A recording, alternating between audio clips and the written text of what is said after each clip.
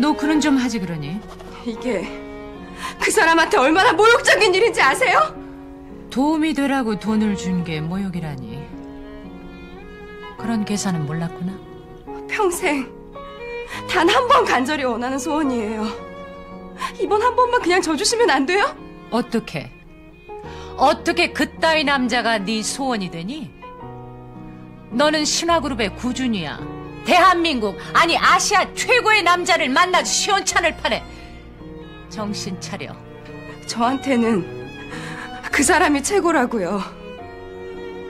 사랑하니까 다른 누구도 대신할 수 없는 거라고요.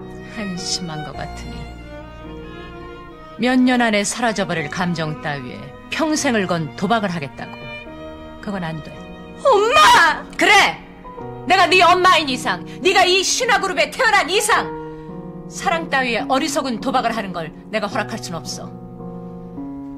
그런 건 다음 생에나 해.